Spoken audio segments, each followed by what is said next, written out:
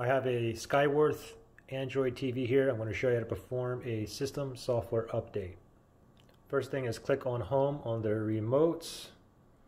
Click on the home button. Now you want to go to settings.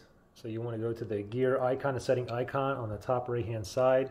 So go all the way up, up, up, and then move over right, right, right, right, right. Right there, settings, click on OK on the remote. Now from here you want to go ahead and you want to go down to device preferences, click on OK. Now from here we're going to go to about, okay, so go to about, click on OK. First one, system update. Go ahead and click on that and then check for update and see if your update. I don't have one because I just updated like 20 minutes ago. You can see my system is up to date. However, yours is not, then you can go and proceed with the system update. Okay, so pretty simple.